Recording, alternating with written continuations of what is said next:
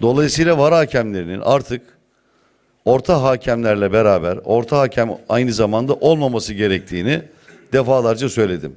Bu uygulama için yeni uygulamaya beklemeye gerek yok. Genç arkadaşlara düdük verilsin dedik. Bazı maçlarda hakemlerimize çok ağır baskı oluyor derbilerde. Bu maçlara en azından yabancı hakem verilsin dedik. Acaba bunları dedik diye Beşiktaş'a zarar mı vermeye çalışıyor bazı arkadaşlar? Benim hissettiğim bir şey var arkadaşlar. Buradan TFF'ye uyarıyorum. Bazı arkadaşların yürüyen düzene karşı isyan etmelerine isyan eden bir grup var. Bunları bulup çıkaracaklar kim olduklarını ve bunların kendilerine zarar vermesine engel olmaya çalışacaklar. Aksi halde bu müessesenin sağlıklı çalışmasını başaramayacaklardır. Bu saatten sonra da Beşiktaş'a yapılacak her türlü hatanın daha da şiddetle karşısında gerekiyorsa bir yıl cezası bir yıl. Yöneticilikten ben bile olacak olsam artık beni susturamayacaklarını ve buradan sonra da artık hata yapmamaları gerektiğini Beşiktaş'a değil hiçbirine yapmamaları gerektiğini birilerini kollamak adına birilerini yakmamaları gerektiğini hakem kardeşlerime buradan ifade etmek istiyorum.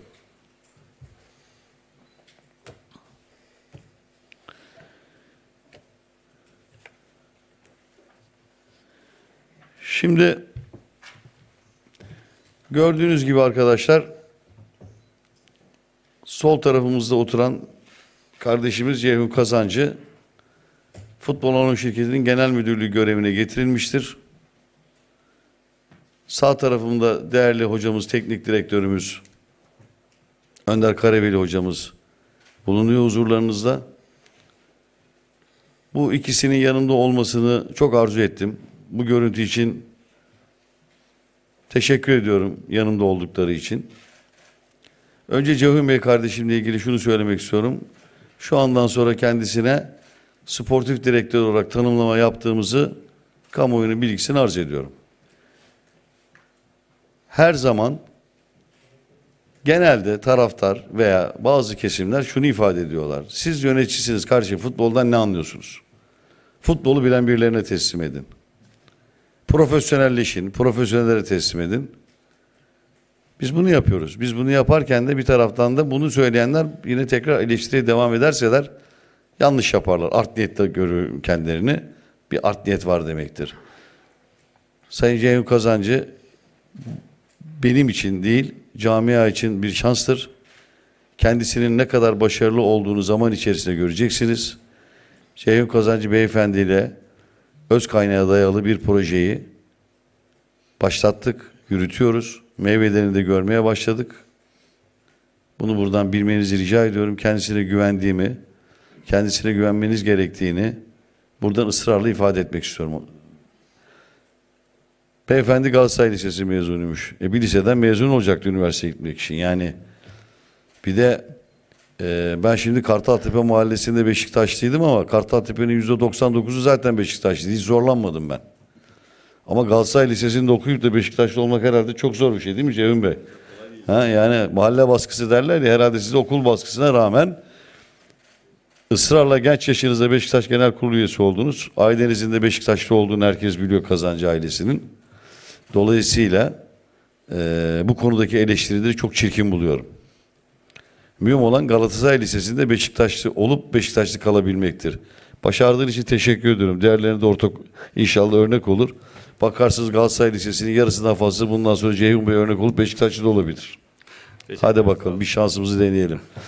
Ee, sonra diğer konu da şu. Menajerlik. e, ya kardeşim şimdi çorapçı getirsek çorapçının futbolla ne işi var diyorsunuz ya. En iyi gelebilecek kişi futbolun içerisinde pişmiş, yetişmiş kişilerdir.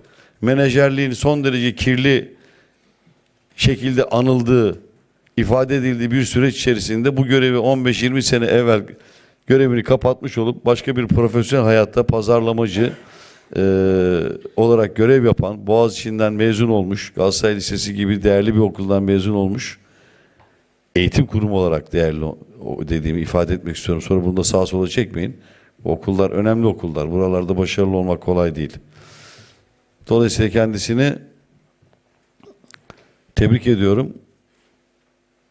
Futbolun içinden geldiğini bildiğim için zekasına, ilgisine, alakasını güvendiğim için kendisini bu göreve getirdiğini de kamuoyunun bilgilerini buradan sunmak istiyorum. Ceyhun Kazancı'nın bundan sonraki başarılarıyla yaptıklarıyla eleştirilebilmesini anlayabilirim. Ama geçmişteki abuk subuk konularla eleştirilmesine şiddetle karşı çıkacağımı da buradan ifade etmek istiyorum. Daha sonra Ceyhun Bey size kendinizi anlatabilmeniz, neler yapmayı planladığınızı ifade edebilmeniz için kamuoyunda bu bilgiye ihtiyacı olduğunu düşünüyorum. Size bir söz vereceğiz. İnşallah orada kısa da olsa e, kendinizi anlatıp neler planladığınızı Beşiktaş kamuoyuna arz edersek çok mutlu olacağım. Şimdi gelelim diğer konuya. Günlerdir Önder Karabeli Hoca işte hoca daha gelmedi. Hocanın durumu ne olacak? Maç maç. Ya Beşiktaş'ın başkanı olarak çıkıyorum. Hocayla yolumuza devam ediyoruz diyorum. Halen daha diyorlar ki Beşiktaş'ın hocası kim? Maç maç mı gideceksiniz? Pek derdimizi anlatamamış olabiliriz. Medya neden bunları bu şekilde yapıyor onu da bilmiyorum. Bildikleri halde Önder Karaveli'nin Beşiktaş teknik direktörü olduğunu bildikleri halde halen daha bunu polemik konusu yaparak kamuoyunda Beşiktaş'ı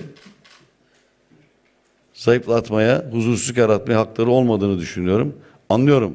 Profesyoneller, işleri medya, medyada, televizyonda yorum yapacaklar, vakit geçirecekler, para kazanacaklar ama sizler para kazanırken bir başkasının hak ve hukuklarına bir camiaya zarar verecek tarzda medyadan rica ediyorum. Artık bu hakkınızı kullanmayın. Bir nokta koyun. Bunun derecesini ve dozajını lütfen hazırlayın. Önder Karaveli hocam Beşiktaş altyapısında çok büyük başarıları imza attı ve atmaya da devam ediyor. Ama Beşiktaş'ın bu saatten sonra kamuoyuna benim arz etmek istediğim çok önemli bir konu da şu. Beşiktaş artık altyapıya önem veren, öz kaynaklarıyla beslenen bir plan ve projeyi başlatmıştır. Bunu yaklaşık bir yıl evvel başlattık. Hatırlayın hocamızla beraber burada altyapıda neler yapacağımızı Mehmet hocamızla beraber ifade ettik. Ve ortaya gördüğünüz gelen son Rize maçında çıkan 9 tane çocuğumuzun yanında bir geride en az 9 tane daha onlar kadar iyi olan çocuklarımız olduğunu buradan söylemek istiyorum. Hocam da bunu teyit edecektir tahmin ediyorum. Dolayısıyla bir evvel başlattığımız projenin artık meyve vermeye başladığını ve Beşiktaş'ın da ekonomik anlamda dahi olsa bu meyvelerden bu saatten sonra faydalanmaya başlayacağını ifade etmek istiyorum. Bunun da Rize maçında başlamak üzere e, ispatını yaptığımızı düşünüyorum. Daha da iyi olacağız. Önder Karayel hocamız artık büyük bir projenin her daim bir parçası olmaya devam edecektir. Bu proje öz kaynak, altyapı, Beşiktaş'ın ekonomik anlamda düzelebileceği tarzda futbolcu yetiştirmek, üretmek şeklinde olacağını, bundan sonra birinci önceliğimizin artık bu olduğunu, bunu daha evvel ektiğimizi bir yıl evvel Mehmet Ekşi hocamızla beraber ve meyvelerini topladığımızda buradan kamuoyuna müjdelemek istiyorum. Hocamız şu anda teknik direktörümüzdür. Bundan sonra da bu büyük projenin her daim bir parçası olmaya devam edecektir. Allah izin verdiği müddetçe sağlık ve sıhhat içerisinde diye düşünüyorum.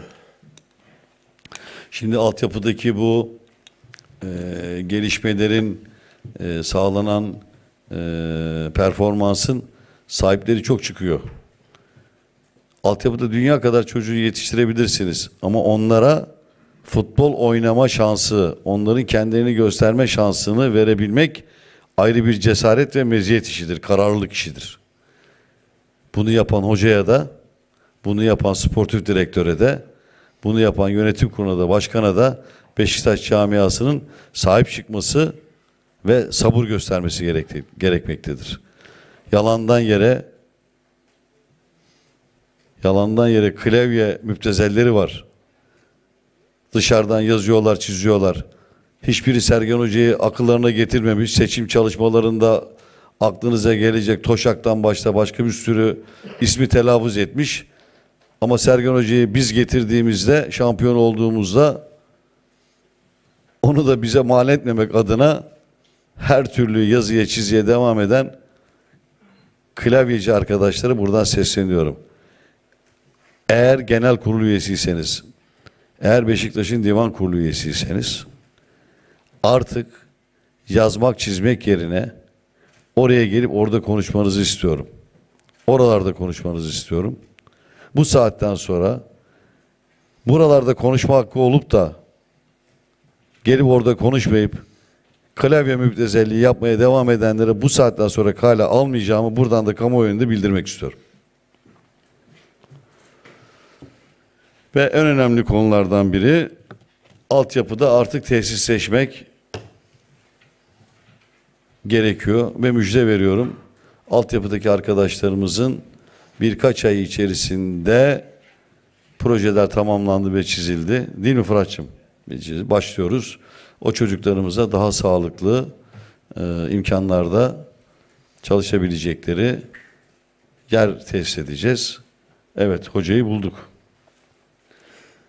Sportif direktörü de bulduk ama sahayı yapamazsak bu iş olmayacak. Bu da artık başkan yönetim kurulu olarak bizlerin görevi. Değerli arkadaşlarım, yöneticilerim.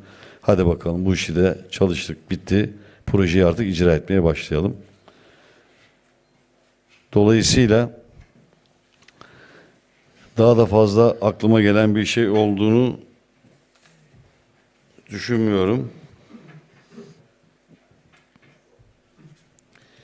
Müsaade ederseniz bir kere daha şöyle bir affınıza sığınarak bir notlarıma bakmak istiyorum.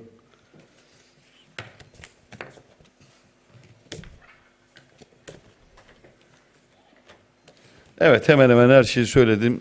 Öyle düşünüyorum.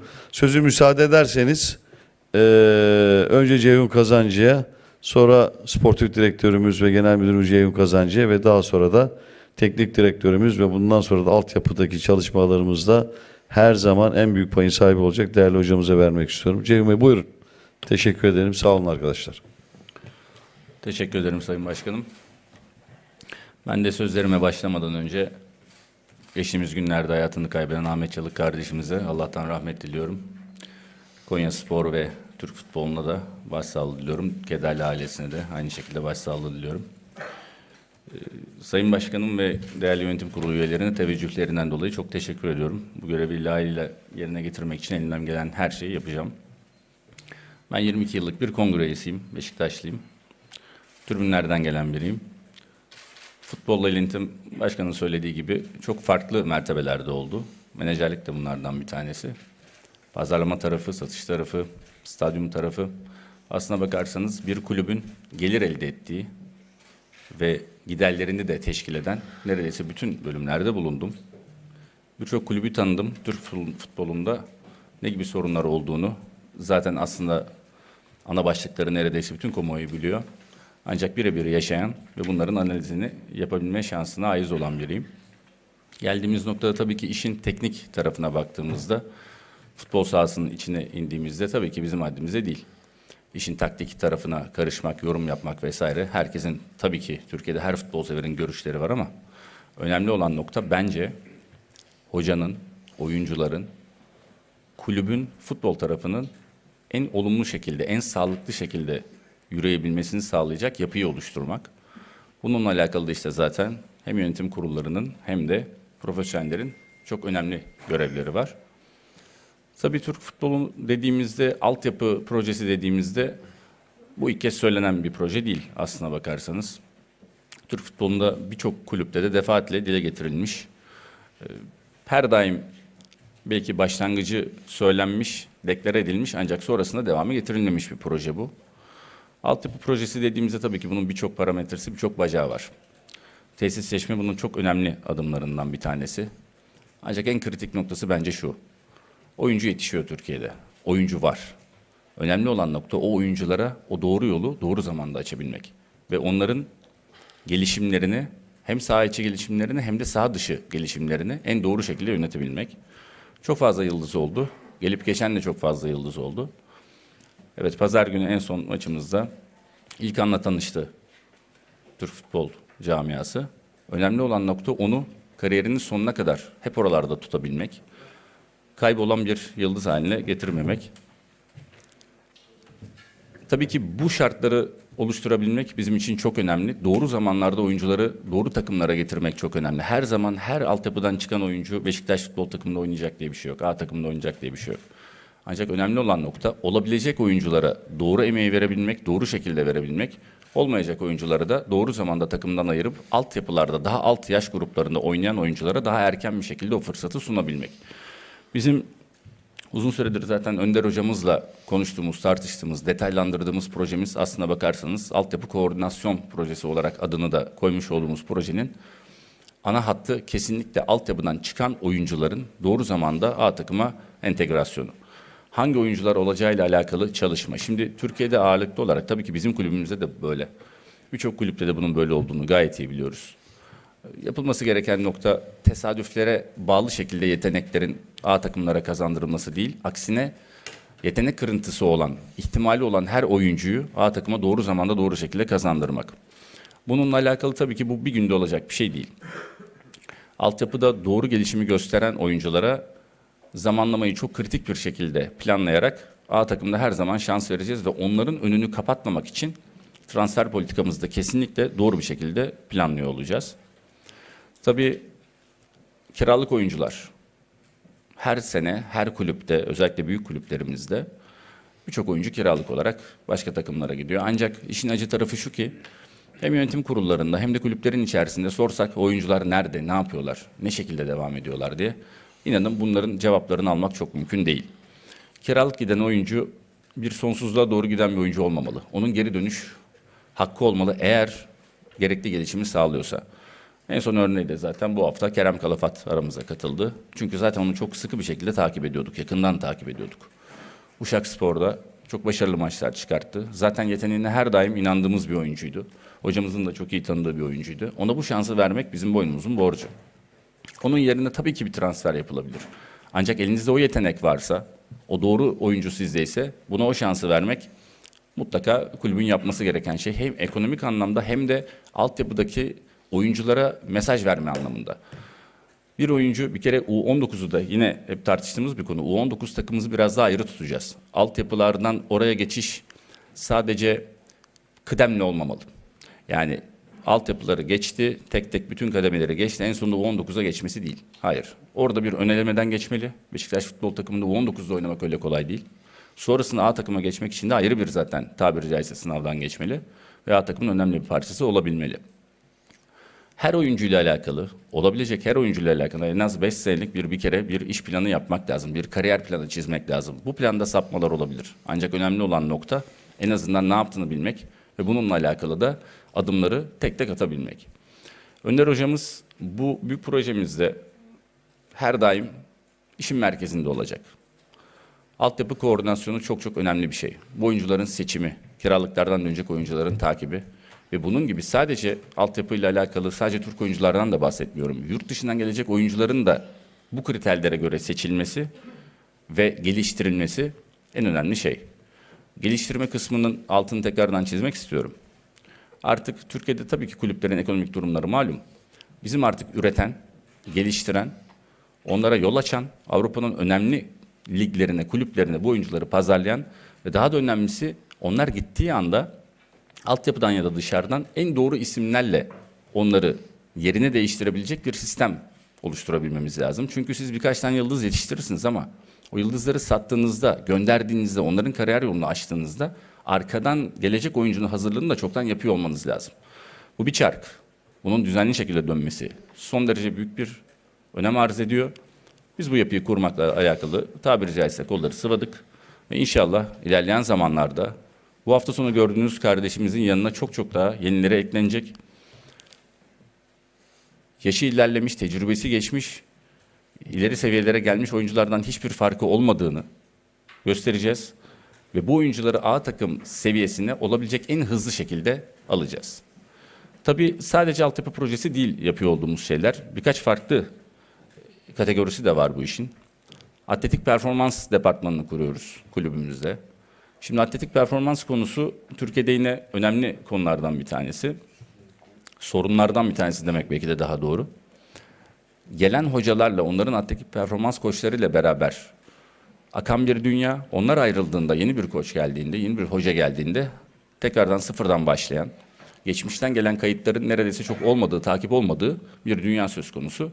Bunu tamamen teknolojik bazda yapacağımızı buradan deklare etmek istiyorum. Ve böyle bir departmanımız her daim bizde olacak. Bizimle çalışan arkadaşlarımız olacak. Bir diğer konu tabii ki scouting konusu, futbolcu izleme departmanı ile alakalı. İşin artık e, dünya futbolunda her konuda neredeyse saha içi ve saha dışında her konuda ilim, bilim, teknoloji, yazılım bütün bunlar artık işin merkezine oturdu. Biz de bütün bu yazılımlarla alakalı çalışmalarımızı yaptık, sistemimize kazandırdık.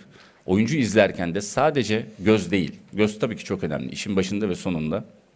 Oyuncuyu seçerken doğru oyuncuyu seçmek adına tabii ki o gözlere, o tecrübeli insanlara çok ihtiyacımız var. Ancak işin analiz kısmında, işin istatistik kısmında kesinlikle göz ardı etmemiz mümkün değil.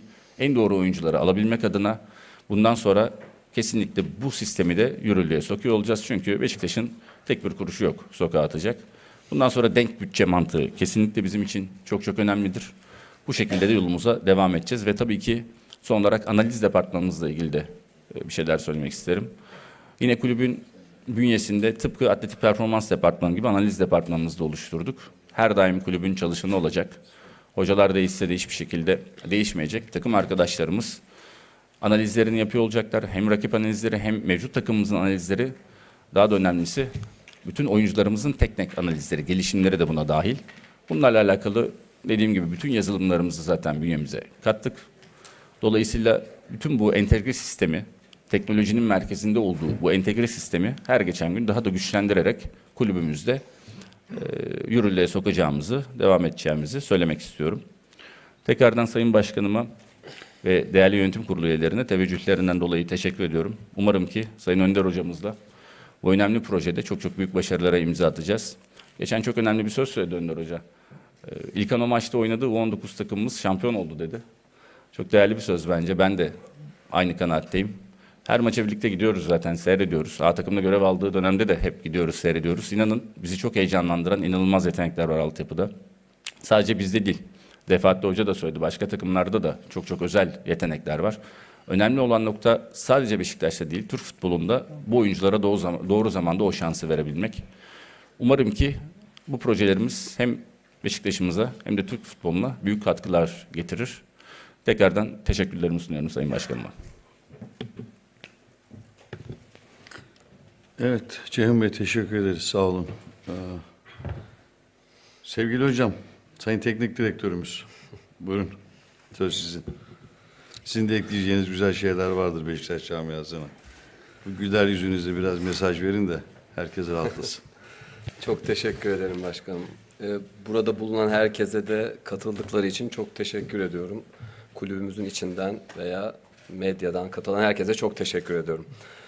Ee, Aslında ben de başkanımız ve Ceyhun Bey gibi Ahmet Çalık'la ilgili başlamak istiyorum. Hiç gönülden geçmez böyle olması ama e, ben Ahmet Çalık'ı duyduktan sonra e, değerli arkadaşım İlhan Hoca'yı aradım, İlhan Palut'u. Hocam da telefonunu açamadı. O kadar mutlu oldum ki açamadığı için. Çünkü gerçekten ne söyleyeceğimi bilemiyordum. Aradım ama ne söyleyeceğimi bilemiyordum. Daha sonra İlhan Hocam akşam üzeri bana döndüğünde e, aynı cümleleri ona da söyledim. Hocam size ne söyleyeceğimi bilemiyorum. Ama acımı ailesiyle paylaşmanızı istiyorum dedim. Hepimizin çocukları var. Gerçekten çok zor bir sınav. Ailesi için çok zor bir sınav. Ve ben Ahmet Çalı genç oyunculuğundan itibaren, Gençler Birliği Kulübü'ndeki genç oyunculuğundan itibaren milli takımlardan takip eden birisi olarak, onu sahada fazlasıyla, ziyadesiyle seyretmiş birisi olarak, onun yaşadıklarını, yaşattıklarını gören birisi olarak e, üzüntüm biraz daha fazla oldu açıkçası. E, ailesine sabırlar diliyorum. Çok da fazla bir şey söyleyemiyorum. Beni başka bir yere götürür çünkü konuştukça bu konu. E, bu salonun içinde beni çocukluğumdan beri tanıyan insanlar var. Bu salonun içinde beni uzun yıllardır tanıyan insanlar var. Ve aynı şekilde bu salonun içinde beni 10 Aralık'ta Beşiktaş A takım teknik sorumlusu olarak maçta Beşiktaş A takımına eşlik edecek antrenör olarak duyurulduğumdaki günden sonra da tanıyanlar var. Ve hayatımda da böyle sadece bu salonda değil. Beni tanıyan insanlar bir şeyi çok çok iyi bilirler. Benimle çalışan oyuncularım, ailem, dostlarım, benimle hayatın bir bölümünde denk gelmiş insanlar bir şeyi çok iyi bilirler. Ben kalbimin sesiyle yaşayan bir insanım. Hayatım boyunca böyle yaptım ve bundan sonra da böyle yaşamaya devam edeceğim. Kalbimin sesini dinleyerek yaşarım. Ve kalbimin sesi bana hep doğruları söylemiştir. Tabii ki aklımla, tabii ki zihnimle birleştiririm ama önce dinlediğim ve duyduğum ses kalbimin sesidir. Ee, Bugün burada oturuyor olmamı sağlayan şey de kalbimin sesidir ve onunla yap- yaptıklarımdır. Ee, Geçen sene bir yaz tatilinde pandemi koşullarına rağmen İskenderun'da çok sevdiğim bir oyuncumu ziyarete gitmiştim. Ee, orada da tanıştığım insanlardan birisi bana işte beni birkaç gün tanıdıktan sonra birkaç gün sohbet etme imkanımız olduktan sonra tabii konuların hep ana fikrinde futbol, antrenörlük, Türk futbolu bunlar olduktan sonra ayrılacağım gün bana bir şey söylemişti. Bunu ilk defa burada söyleyeceğim. Beni çok etkilemişti. Önder hocam, bence siz Türk futbolunun terli formasısınız demişti ve duyduğum anda yani acayip bir hale sokmuştu beni. Gerçekten de çok etkilemişti. Onun bu inancı bende de başka bir inanç oluşturdu. Çünkü şunu çok iyi biliyordum. Benimkisi Türk futbolu için adanmış bir hayattı. Türk gençleri için adanmış bir hayattı. E, Bundan hiç vazgeçmedim, vazgeçmeyeceğim de.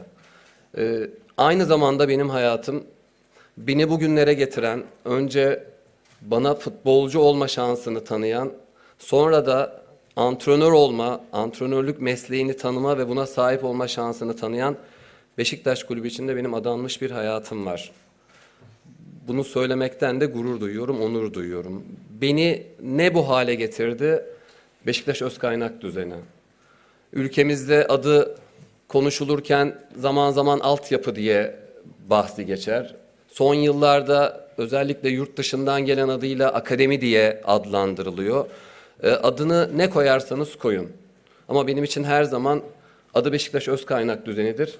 Ve ben kendi adıma söylüyorum nefes aldığım sürece de adı Beşiktaş Özkaynak düzeni olarak devam edecektir. 1975 yılında Serpil Hamdi Tüzün Hoca'nın kurduğu, geliştirdiği, beraber çalıştığı antrenörlerle, beraber çalıştırdığı oyuncularla Türk futboluna sadece Beşiktaş'a değil, Türk futboluna büyük hizmetler sunmuş Beşiktaş Özkaynak düzeninin bir parçası olmaktan gurur duyuyorum.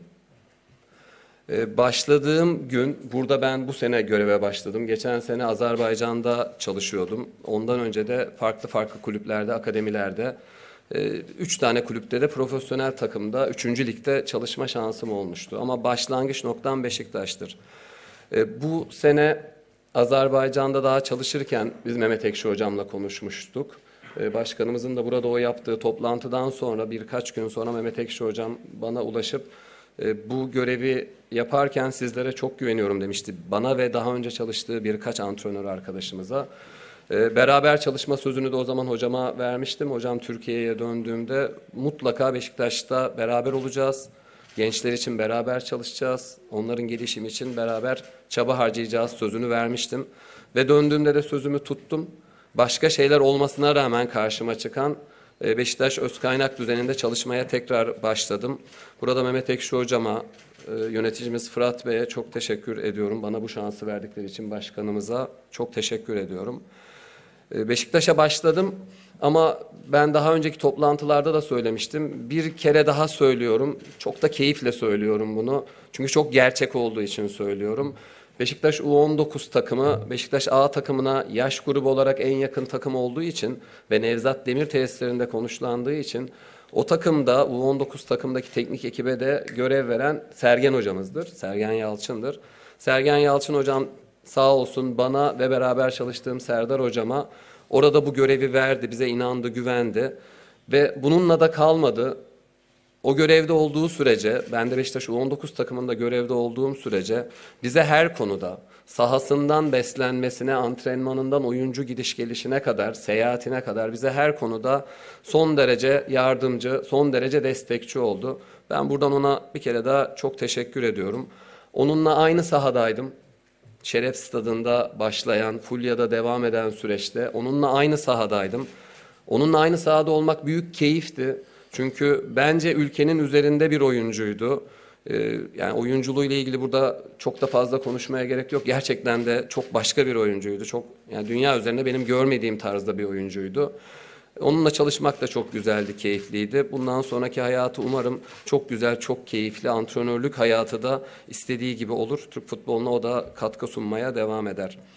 Ee, Ben Beşiktaş kulübüne 10 yaşında Şeref Stadı'nda 1984 yılında başladığımda e, oradaki Beşiktaş'ı da yaşadım. Sahip olduklarını sahip olmadıklarını da yaşadım. Beşiktaş A takım soyunma odasına sarayın odalarından birisiydi.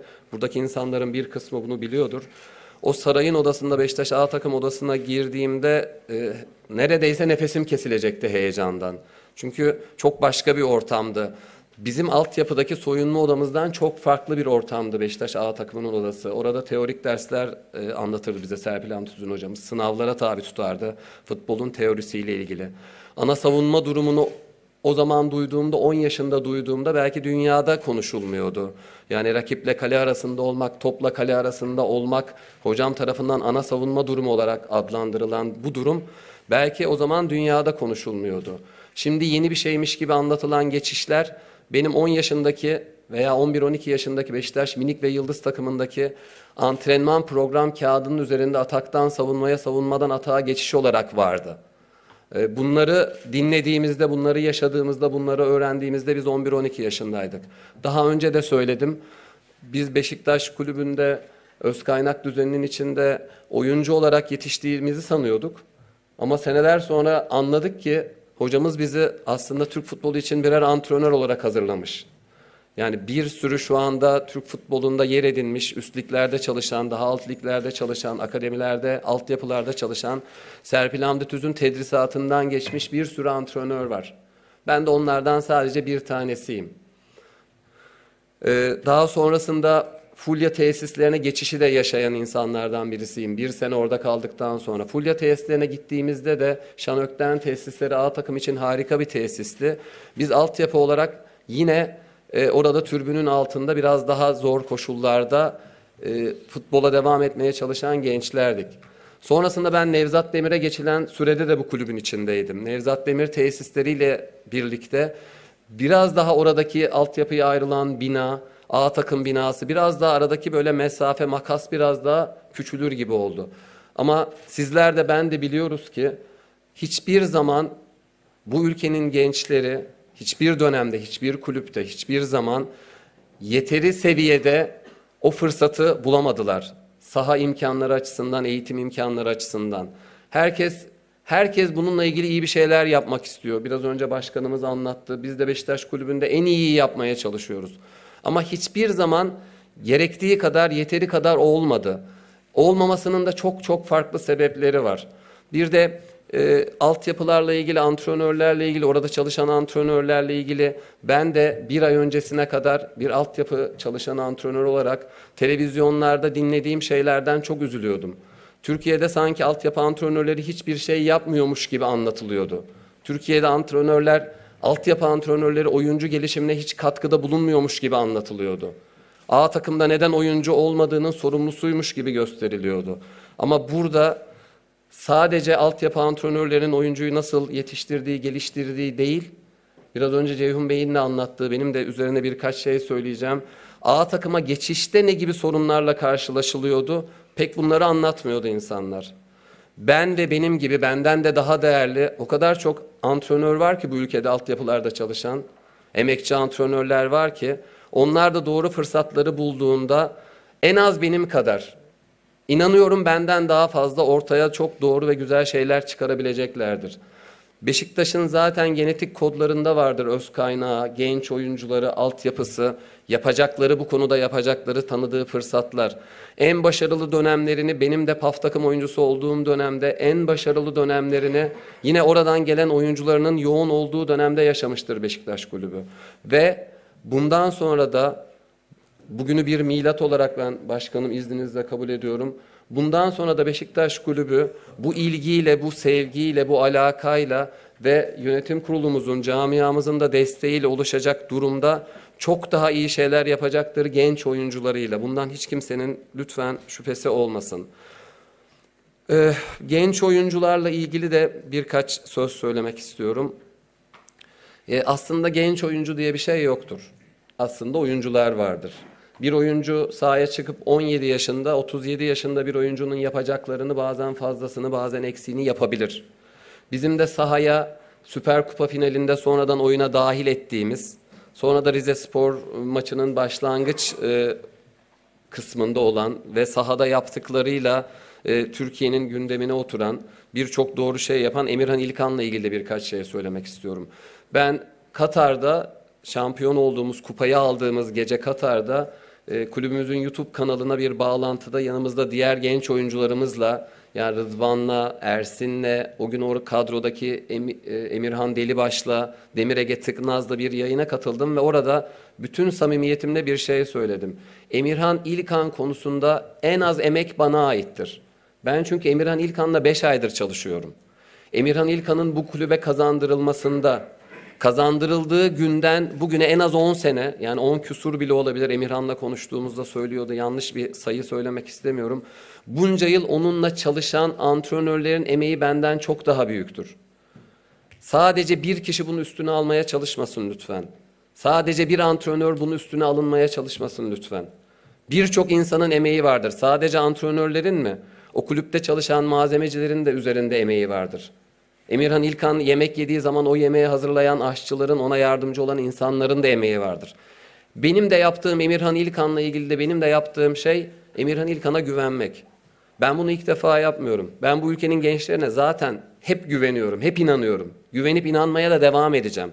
Sadece Beşiktaş'ın gençleri olarak da görmüyorum bu arada. Bunu da daha önce söyledim. Ben Türkiye'nin gençlerine inanıyorum. Her alanda, sadece futbolda değil, sporun her branşında, hayatın her alanında Türk insanlarına inanıyorum ve güveniyorum. Emirhan İlkan'la ilgili yaptığımız şey, onun futbol sahasında yapabileceklerini bilmekti. Futbol sahasına girdiğinde, o sahanın içine girdiğinde Beşiktaş formasıyla yapabileceklerine inanmaktı. O da zaten ondan beklediğimizi yerine getirdi. Peki, tersini söylüyorum. Biz kupa maçında Emirhan'ı oyuna soktuğumuzda Emirhan'ın oyunu kötü olsaydı bu kadar konuşulacak mıydı? Hayır. Ama benim Emirhan'a olan inancımda zerre kadar bir değişim olmayacaktı. Ben Emirhan'a inanmaya, Emirhan burada bir semboldür. Emirhan üzerinden bütün çocuklarımız için söylüyorum bunu. Ona inanmaya, güvenmeye devam edecektim. Ve hiç şüpheniz olmasın ki onu tekrar sahaya sokacaktım. Onun hatasıyla bir gol yeseydik de, onun hatasıyla kupayı kaybetseydik de. Çünkü bunlar bir günlük 15-20 dakikalık bir maçlık durumlar değil. Bunlar çok uzun, çok meşakkatli süreçler. Şimdi Emirhan İlkan sahaya girdi. Rize Spor maçında da Ceyhun Bey'le de konuştuk. Ben e, hastalığım dolayısıyla e, karantina sürecinde olduğum için orada değildim. E, sahanın kenarına kadar gelen bir oyuncumuz daha vardı. Demir Ege Tıknaz. Onunla da ben bu sene çalışmaya başladım. Ona da çok inanıyorum, güveniyorum. Sahanın kenarına kadar geldi ama kırmızı kart durumu yaşandığında daha sıcak, daha tecrübeli oyuncularla devam etmenin doğru olacağına karar verdik ve Ege sahanın içine giremedi. Bir gün Ege de sahanın içine girecek. Bir gün Emirhan Dilibaş da sahanın içine girecek. Ve inanın Beşiktaş kulübünde bu çocuklarımız 2004 doğumlu konuştuğumuz çocuklar. Beşiktaş kulübünde 2005, 2006, 2007, 2011, 2012 aşağıya kadar gidiyorum. Sahaya girecek çok çocuk var. Yeter ki zamanlamasını doğru yapalım. Yeter ki onlar Beşiktaş öz kaynak düzeninde eğitimleri sırasında eğlensinler, mutlu olsunlar, keyifli olsunlar, doğrularla bezensinler, doğruları öğrensinler. Ve aynı zamanda sahaya girdikten sonra da profesyonel takımla beraber olduktan sonra da mutlu olmaya devam etsinler. Eğlenmeye devam etsinler, tadını çıkarsınlar, bırakalım tadını çıkarsınlar. Hatalar yapacaklar mı? Sahanın içinde yapacaklar. Sahanın dışında hatalar yapacaklar mı? Yapacaklar. Bazen belki sosyal medyadaki paylaşımlarıyla hatalar yapacaklar. Bazen belki röportajlarda söyledikleriyle hatalar yapacaklar. İçimizde hatasız birisi var mı? Ben kendi adıma söyleyeyim. O kadar çok hata yaptım ki 47 yaşına gelene kadar. Yapmaya da devam ediyorum. Ama oyuncularıma da anlattığım şey her zaman şu olmuştur. Lütfen aynı hatayı tekrar yapmayın. Lütfen yeni hatalar yapın. Sahanın içinde de yeni hatalar yapın. Sahanın dışında da yeni hatalar yapın diyerek onlardan bunu sonuna kadar istiyoruz. Ee, biraz uzattım galiba. Biraz su içeyim. Heyecanımı da lütfen e, mazur görün. Heyecanım hep var, olacak da bitmeyecek de. Beşiktaş Kulübü ile ilgili bu aldığım görevle ilgili de birkaç şey söylemek istiyorum. Bana ilk Ceyhun Bey bunu başkanımızla konuşarak açıklamıştı. Emre Bey, Emre Kocadağ da hemen bir gün sonra benimle konuşmuştu. Bu görev bana verildiği günden beri, bana söylendiği günden beri ben bir an bile yarın ne olacak diye düşünmedim. Bir kere bile, bir kere bile acaba bu maçı kazanırsak ne olur, kaybedersek ne olur diye düşünmedim. Çünkü bana inanan, güvenen insanlar vardı. Bana emanet edilen şey de aslında burada ilk defa başkanımıza söylüyorum. e, Beni çok zorlayacak bir şeydi. Çünkü çok sevdiğim bir şey bana emanet edildi. Size çok sevdiğiniz bir şey emanet edildiğindeki ruh halinizi lütfen düşünün. Ve benim için o kadar kıymetli bir şeydi ki Beşiktaş e, ya böyle pamuklara sarsam yeri olmaz, yeri dolmaz bir şeydi. Ve bunun ağırlığı, bunun sorumluluğuyla e, biraz da bunun heyecanıyla hep iyi şeyler yapmaya çalıştık. Bu süreçte olumlu durumlar yaşadık. İşte sahanın içinde iyi oyunlar, galibiyetler, işte kaybettiğimiz maçta oldu, geriden gelip berabere kaldığımız maçta oldu. Bütün bu yaşananlarda da sadece ben yokum. Biraz fazlaca bence benim adım söylendi. Beraber çalıştığım o kadar büyük bir ekip var ki U19 takımdan beraber getirdiğimiz, benimle beraber çalışan antrenör arkadaşlarım. Aynı zamanda kulüpte e, hocalarımız ayrıldıktan sonra devam eden arkadaşlarımız var. Beşiktaş Nevzat Demir tesislerinde de çok büyük bir ekiple beraber çalışıyoruz.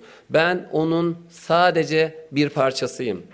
Bunu bütün kalbimle söylüyorum ve bir kere daha söylüyorum. Ben o büyük ekibin sadece bir parçasıyım. Kendi içimde çok değerli bir parçasıyım.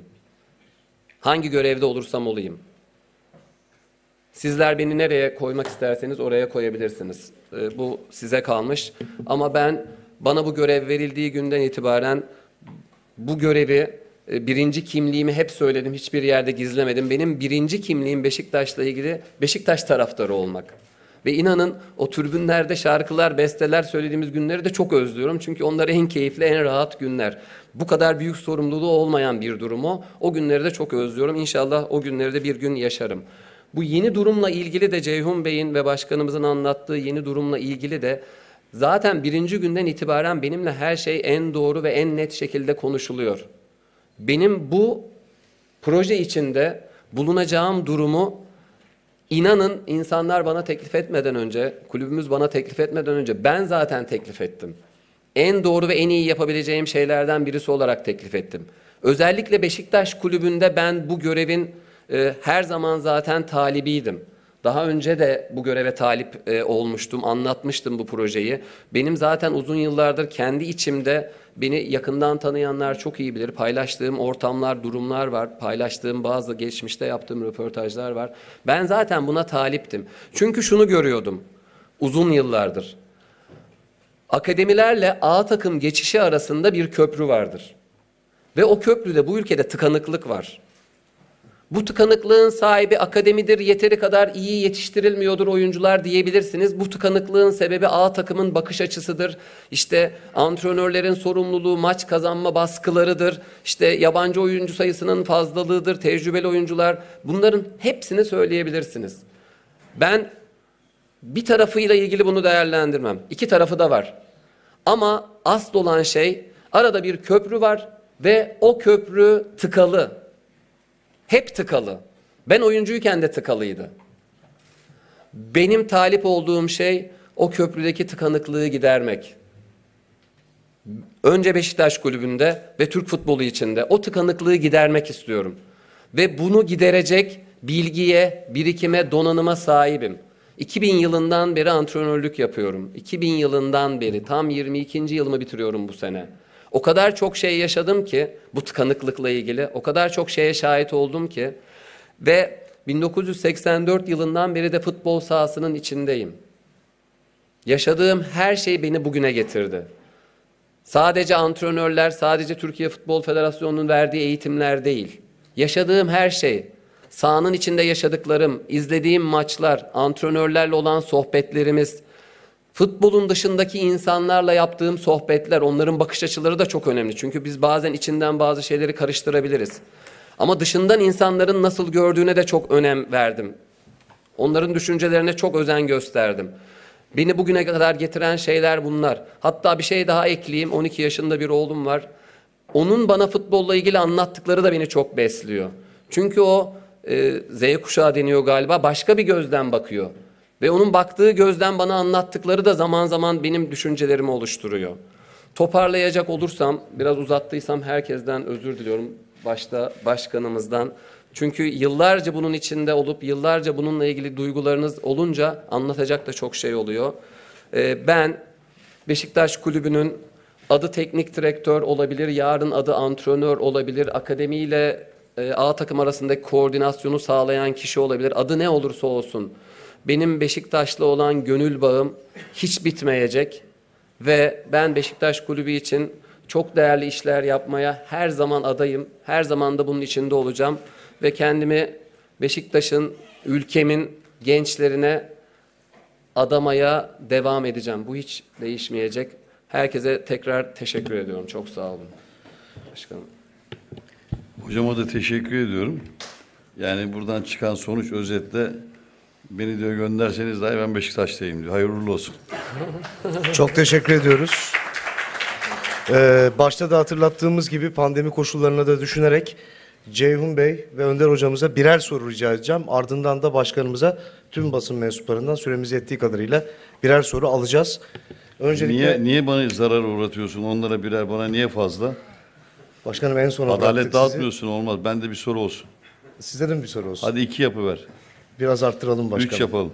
Beşe, Peki beşe arkadaşlar biraz böyle havayı dağıtayım diye espri olsun Önce. Tabii ki buyurun. önce müsaadenizle başkanım Ceyhun Bey'e, Sayın Kazancı'ya bir soru alacağım. Ee, çünkü birçok konuda açıklık getirdiler. Ee, tabii hepiniz sormak isteyeceksiniz ama Fatih Bey. Bir de şunu da söyleyeyim. Buradaki soruları da yazacağım. Sonra başkanımıza soru cevapta geçtiğimde en sona bırakacağım. Mazur görün şimdiden söyleyeyim. Buyurun.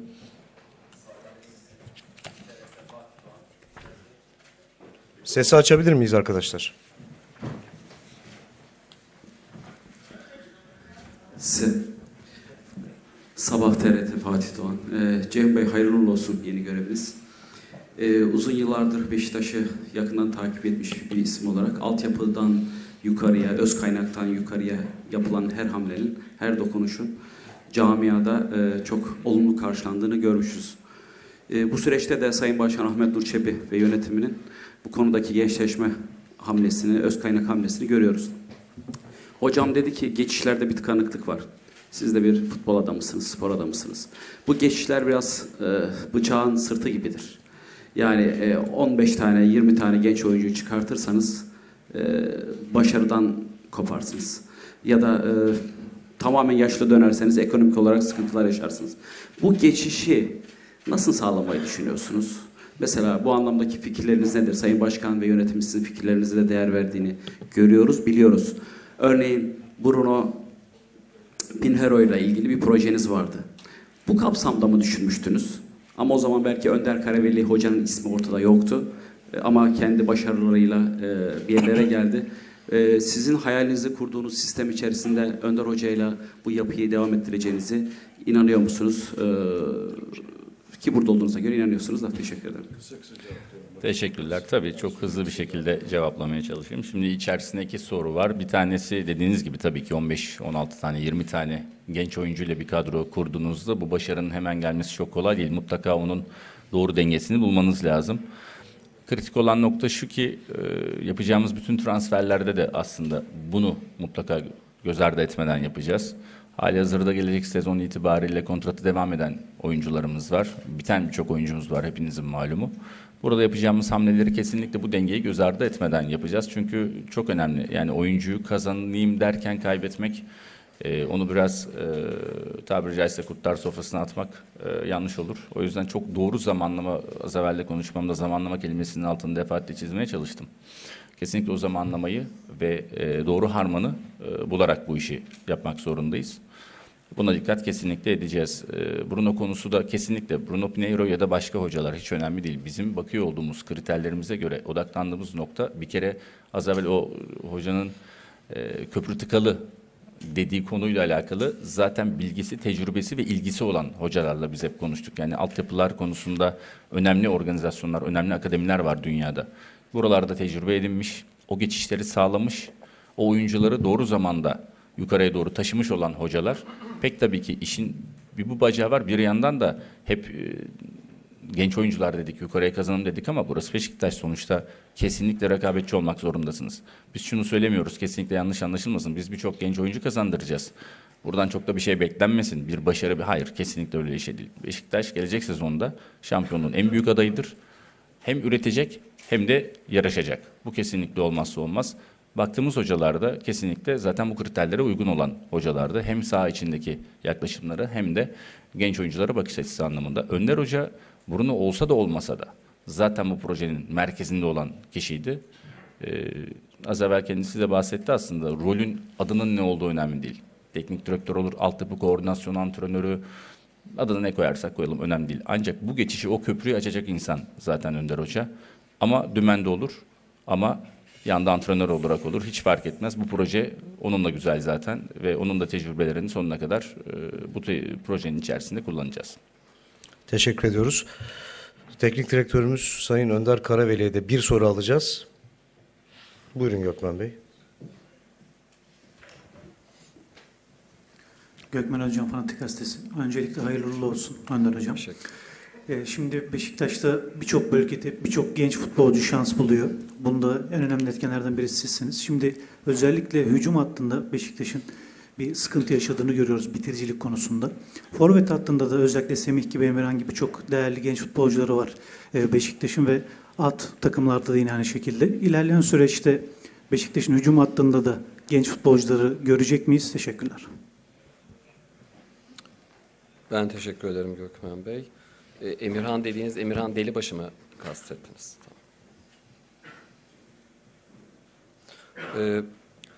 Bu genç oyuncu A takıma çıkarma durumu e, buradaki birçok insanın da bildiği gibi yani birden yani 8 tane 10 tane oyuncuyu A takıma kanalize edemezsiniz. Bunun e, zorlukları vardır. Oyuncular açısından da hazırlıklı oldukları durumu beklemek gerekir.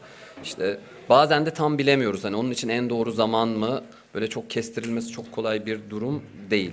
Emirhan İlkan'da bunu yaşadık. Emirhan İlkan işte U19'da bizim oynadığımız hem lig maçlarında hem UEFA Youth Lig maçlarında e, benim içimi çok doldurmuştu birçok yaptığıyla. Ama tam olarak hazır mıydı değil miydi? Bazen de işte bu yüzme öğrenirken hani atarsınız ya denizin içine. Yani yüzüyor mu yüzmüyor mu ortaya çıkar. Ee, yüzemiyorsa da bırakmazsınız onu orada. elinden tutup kenara çıkarırsınız. Belki hani seni bir biz havuza atalım orada bir dene sonra tekrar denize atalım dersiniz. Biz belki de Emirhan İlkan'ı okyanusa attık farkında olmadan ama o okyanusta da yüzebileceğini bize gösterdi. Ee, hücum oyuncuları ile ilgili de Emirhan Delibaş zaten e, kupa finalinde ve Rize Spor maçında kadrodaydı. Yani oyuna her an girebilirdi. Oyunla ilgili oyun buna ihtiyaç duysaydı, oyun Emirhan'a ihtiyaç duysaydı sahaya girebilirdi. Biliyorsunuz Rize Spor maçında biz e, farklı bir formasyonla sahadaydık. E, üç savunma oyuncusunun olduğu iki santraforlu oyun oynadık. Bunun kararını da zaten Katar'da e, final maçının son bölümünde yaşadığımız durum, o oradaki o dönüşümüz bize göstermişti ve o kararı vermiştik. O güvenle Rize Spor maçında da sahaya çıkmıştık. Bunu da yeri gelmişken söyleyeyim. E, Emirhan Delibaş'la ilgili bunu söyleyebilirim. O da hazırladığımız oyunculardan birisi. Bu hazırlığı bazen U19 takımda devam ettireceğiz. Bu hazırlığı belki doğru zamanda, doğru bir kulüpte onu kiralayarak, yurt içinde veya yurt dışında bunu da söylemek istiyorum. Kiralayarak devam ettireceğiz. Semih de 2005 doğumlu, 2005 milli takımının santraforlarından e, bir tanesi. E, U17 milli takımının santraforlarından bir tanesi. Ve biz onu U19 takımda kullanıyoruz yaşının küçüklüğüne rağmen. Geçen sene de U19 takımdaydı ve bu onu çok geliştiriyor. Eğer bize Beşiktaş A takımı için sahada olabilecek ışığı verirse, doğru doneleri verirse, ya beni de bir atın bakalım yüzebiliyorum mu, yüzemiyor muyum? Onu bize, o soruyu bize sordurursa neden olmasın günün birinde o da olacaktır. Onun arkasından gelen de bizim e, çok kıymetli e, ülkemizin genç milli takımlarında oynayan santraforlarımız var. Adlarını söylemek istemiyorum şu anda. Günü geldiğinde herkesin Emirhan gibi adını duyacağı oyuncularımız var. Onlar da Beşiktaş formasının e, adaylarıdır. Çok teşekkür ediyoruz. Hocam evet başkanımızın soru cevap kısmına geçeceğiz. Herkese birer tane soru hakkı vereceğim. Bu taraftan aldığım var önden. Hepinize tek tek soru hakkı vereceğim. Süreyi lütfen ekonomik kullanalım. Bir kez daha hatırlatıyorum. İsmail abiyle başlayacağım. Sercan Bey size devam edeceğim. Kurum ve isim adı da rica ediyorum herkesten. Buyurun İsmail Bey. İsmailer Hürriyet Gazetesi. Önce hayırlı olsun sevgili başkanım. Ee, 45 sene önce bu altyapının temellerini atan rahmetli Başkan Mehmet Üstünkaya ve ardından Süleyman Seba'dan sonra bir devrim gerçekleştirdiniz. Gerçekten e, bugüne kadar Türk futbol e, kamuoyunu, kulüplerini tek eline alan, milli takımla büyük kulüpler arasında gidip gelen teknik direktörler sürekli tercih edilirdi ama siz önemli bir tercih yaptınız. Şeytanı düzene karşı inanılmaz bir mücadele verdiniz ve e, altyapıdan yetişen ve altyapının oğlu, altyapının her şeyi olan bir teknik direktörü getirdiniz. Bundan sonraki hedefiniz, bundan sonraki başarılarınız ve bundan sonraki e, projeleriniz nelerdir? Evet İsmail Bey bu şeytani lafına çok takıldım bu ara. Tweetlerde orada burada vardır bir sebebi herhalde. Ee, şimdi teşekkür ediyorum.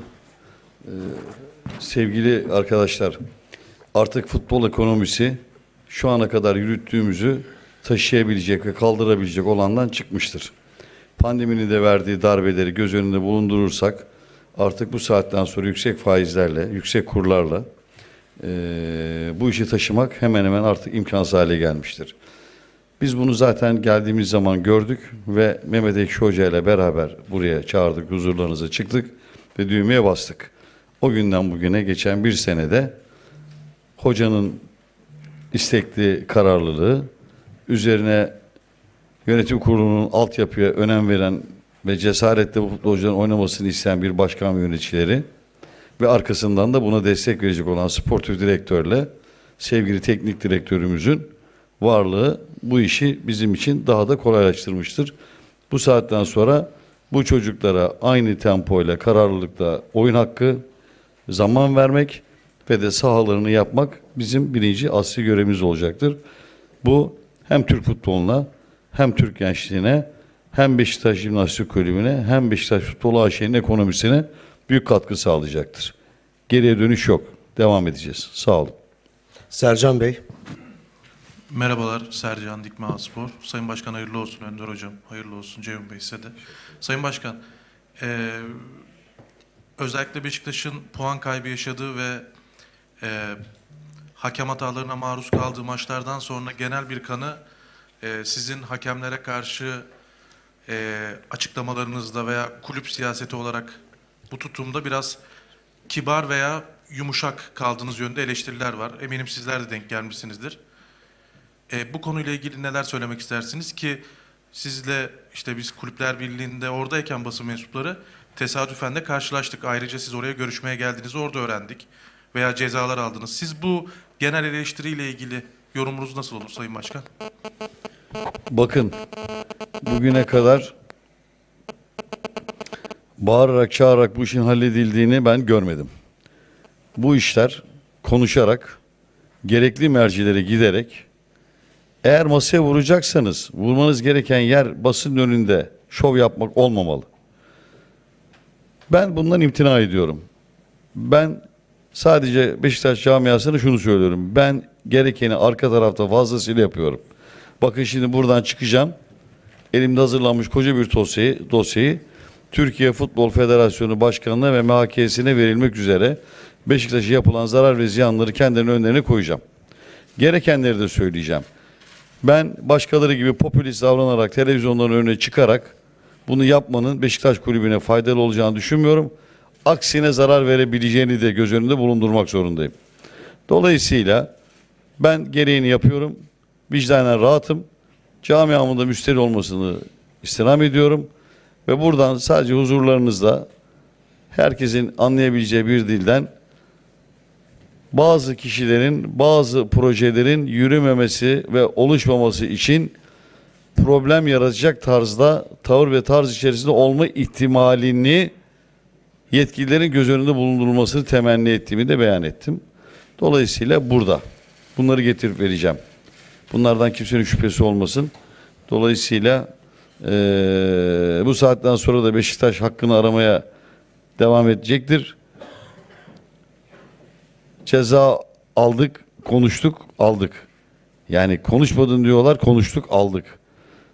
Bir sonuç yok arkadaşlar. Mühim olan giderek bunları ikna ederek, düzeni düzelterek, düzendeki hataları düzelterek yola çıkmamız lazım. Söz konusu Beşiktaş ama aynı zamanda Türk futbolu. Bunun bilinci içinde olan bir kulübün ve camianın başkanlığını yapıyorum. Teşekkür ederim. Volsan Bey. Öncelikle proje hayırlı olsun. Ee, tabii daha önce de hep duyduk hani altyapıya önem verelim, sahalar gelişsin, futbola önem verelim, futbolcu ekonomiye katkı sağlasın diye. Şimdi bu proje başladığında belli ki birçok isim çıkacak ama eğer ki durum yani futbol A takımında belli bir başarı gelmezse size karşı da bu anlamda belli eleştiriler de yapılacak.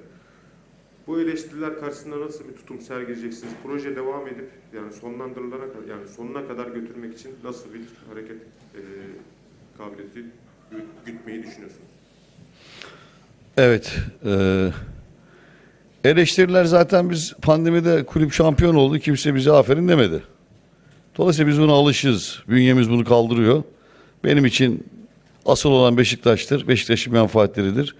Buradan klavye şövalyelerine taviz verecek tarzda fikrimi, zikrimi ve tutumumu değiştirmeyeceğimi açık açık söylüyorum. Takdiri genel kurul yapar. Genel kurula geldiğimizde genel kurul sevmemişse böyle bir çalışmamızı gereken şekilde cezalandırır. Beğenmişse takdir eder. Beni ilgilendiren genel kurulun takdiridir. Ama ben Beşiktaş Genel Kurulu'nun Beşiktaş altyapısının ve ekonomisinin düzeldiği bir süreci tercih edeceğinden şüphem yok. Ee, altyapıya önem veren bir başkanın Mehmet Üstünkaya'nın e, yarattığı o dönemdeki ortaya çıkardığı kulübün ne kadar menfaatlendiğini tarihe dönüp bakmakta fayda var.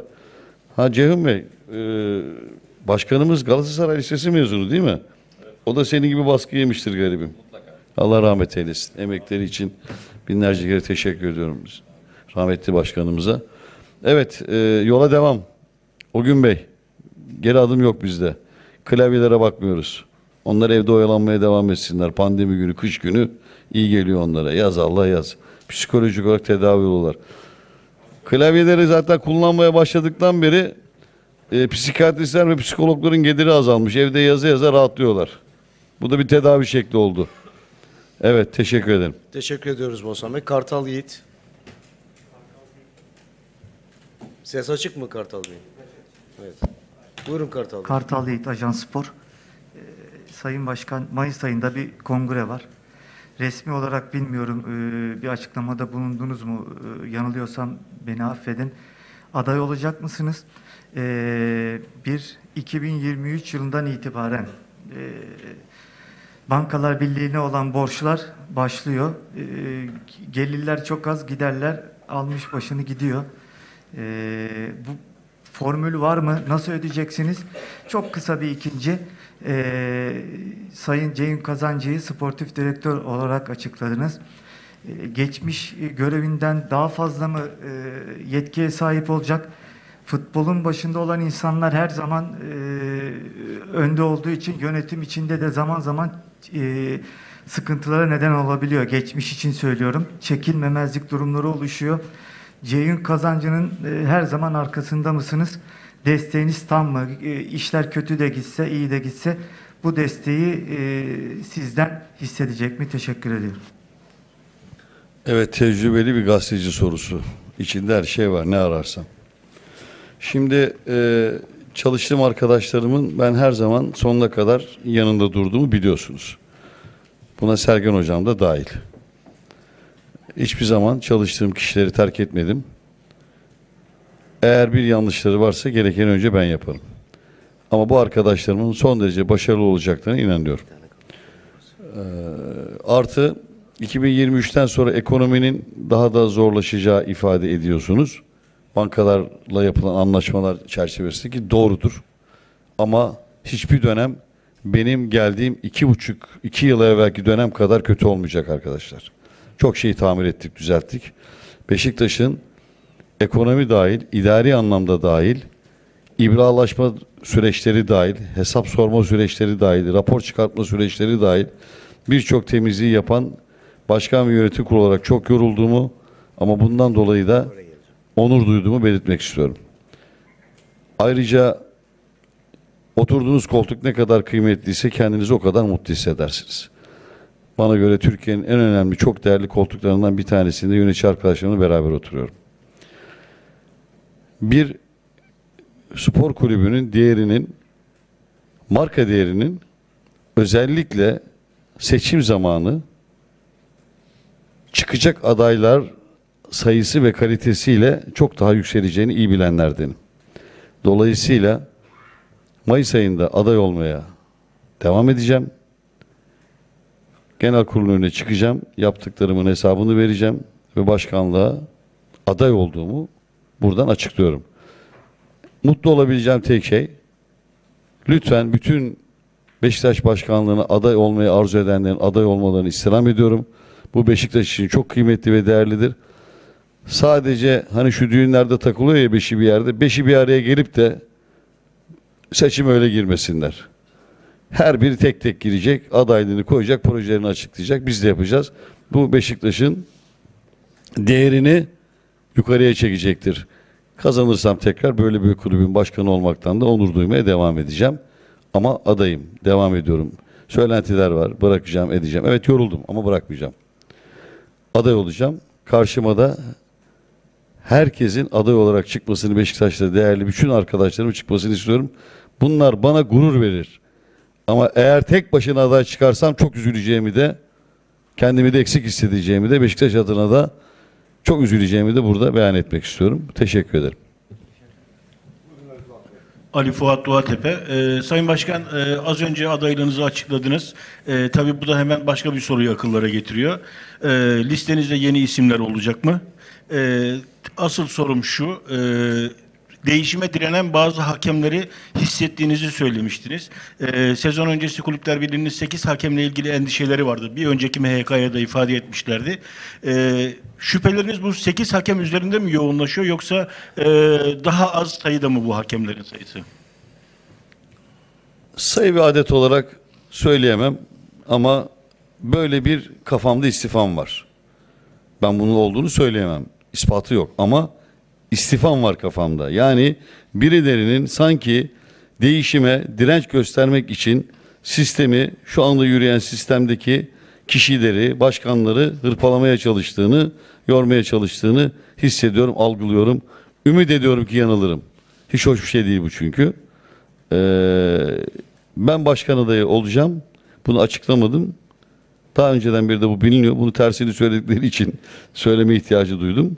Ee, yapacak çok işim var. İki buçuk yıl çok ağır temizlik yaptım. Bu saatten sonra proje uygulama zamanı. Dolayısıyla artık benim de müsaade ederseniz Beşiktaş'ın menfaati için proje uygulamaya devam edeceğim. Göreve devam edeceğim arkadaşlarımdan hepsinden şu anda memnunum. Çok büyük bir değişiklik yapmayı düşünmüyorum ama tek tek ufak tefek çok daha hizmet vermek isteyen, görevden almak isteyen arkadaşlarım da olabilir.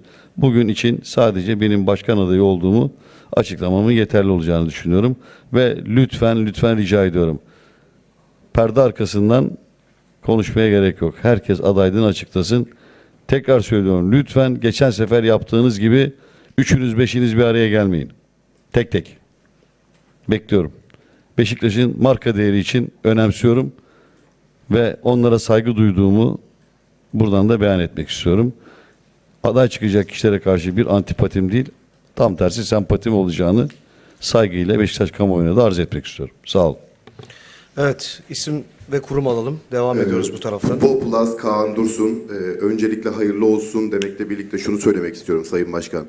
Ee, futbol A takımında eksik görülen bölgelere yalnızca öz kaynaktan takviyeler mi gerçekleşebilir? Yoksa uygun maliyet oluşması durumunda bir transfer de yapabilir misiniz dış takımlardan? Öncelik öz kaynak. Önceliği oradan yapamadığımız takdirde Beşiktaş'ın da sportif başarısını önemsediğimizde göz önünde bulundurmamız lazım. Öz kaynaktan sonra gelişimi açık, hesaplı, henüz doymamış, başarıya aç, hatta gerekiyorsa paraya da aç. Futbolcu kardeşlerimizi tercih edeceğiz ki gelişimini Beşiktaş'ta sağlasınlar ve bize katkı versinler. Sağ ol. Teşekkür ederim. Buyurun, isim ve kurum. İlke Cancanoğlu asistan analiz. Ee, yeni proje hayırlı olsun. Ee, şöyle sormak istiyorum. Geldiğiniz dönemden bu yana e, oyuncu transferleri konusunda e, düşeş atıldığını düşünüyorum ama oyuncu satışı konusunda sanki biraz e, istenilen olmamış gibi geliyor bana. Sizin başardıklarınızın yanında bunu e, biraz daha olmamış gibi geliyor. E, oyuncu satışı noktasında hem Ocak hem de Haziran'da kontratı sona eren oyuncuların yanı sıra kadroda e, olmayacak oyuncular olacak mı diye sormak istiyorum. Evet, planlamayı sportif direktör ve hoca yapacaktır. Şu anda bizim için mühim olan bu sezonki başarı daha yukarılara doğru çıkmak ve altyapıdan alabildiğimiz kadar arkadaşlarla kadroyu takviye etmek.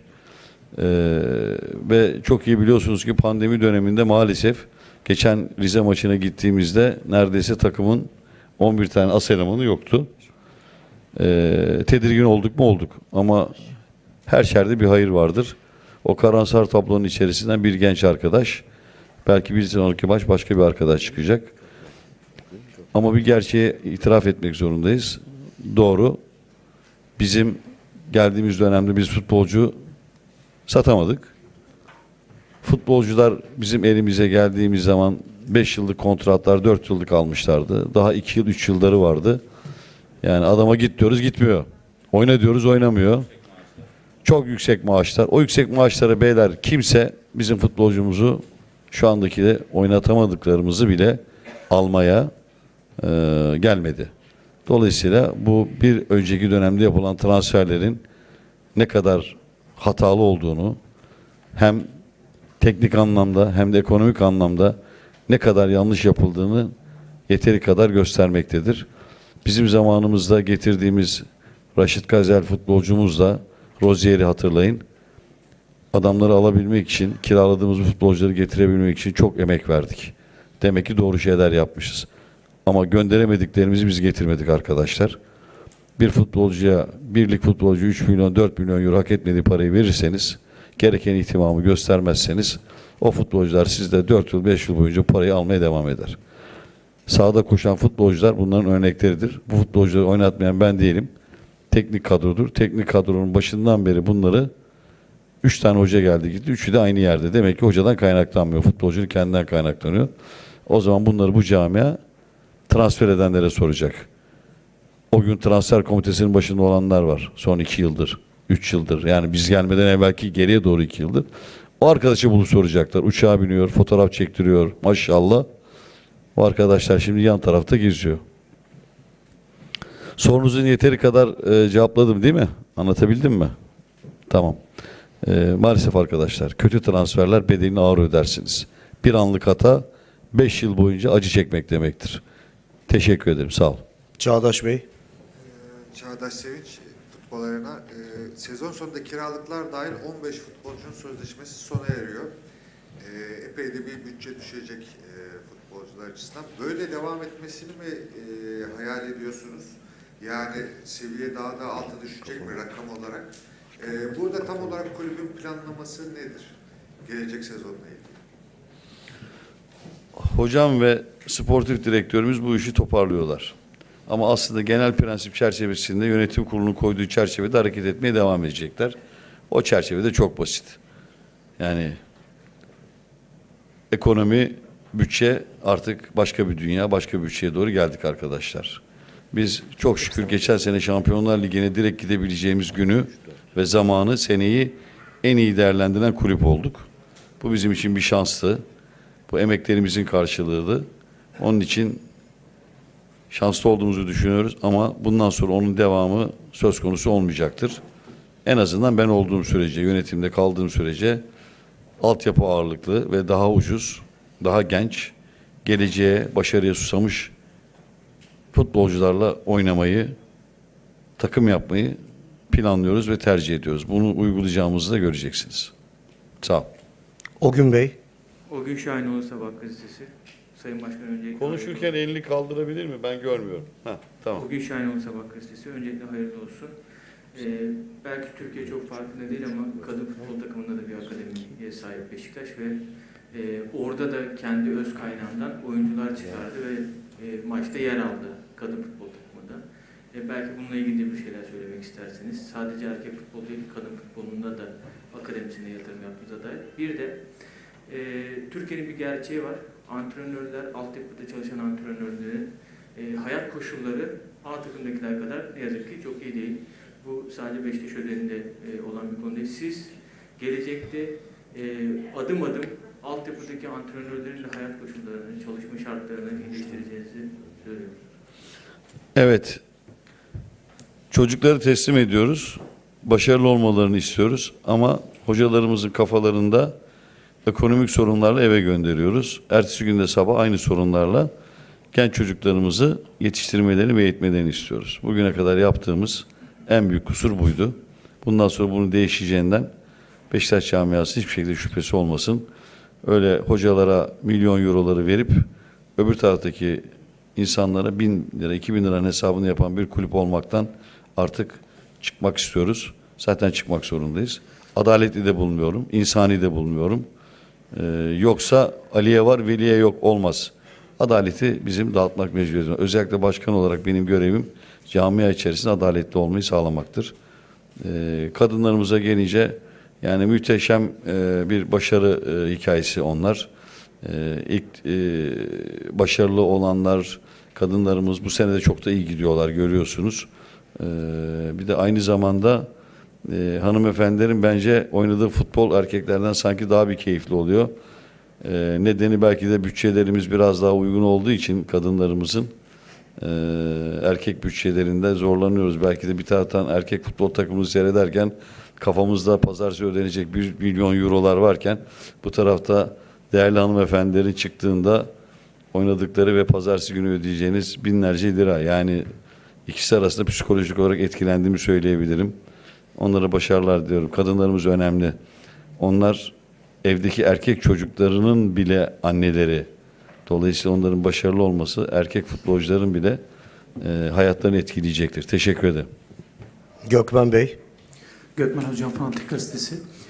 Ee, Sayın Başkanım öncelikle Ceyhun Bey'e de yeni görev tanımından dolayı e, başarılar diliyorum. Size de başarılar aynı şekilde. Şimdi Beşiktaş gibi başta Barcelona olmak üzere birçok Avrupa kulübü genç oyuncularına e, yatırım yapmış durumda. Mesela Barcelona'da La Masia projesine şu anda tutunmuş durumda ve bu yönde birçok genç oyuncusunu A takıma kazandırıyor aynı Beşiktaş gibi. Şimdi Beşiktaş'ın da özellikle Avrupa'da e, bu anlamda genç oyunculara değer veren, destek veren e, takımlarla, kulüplerle bir işbirliği veya fikir alışverişi yapacak mı bu ilerleyen süreçte? Teşekkürler. Dünya artık çok küçük. Ulaşmak, bilgi almak, bilgi edinmek çok basit. Ee, bu tür ilişkilerin en azından e, sadece Beşiktaş için değil, diğer Türk futbol kulüpleri için de söz konusu olmasını tavsiye ediyorum.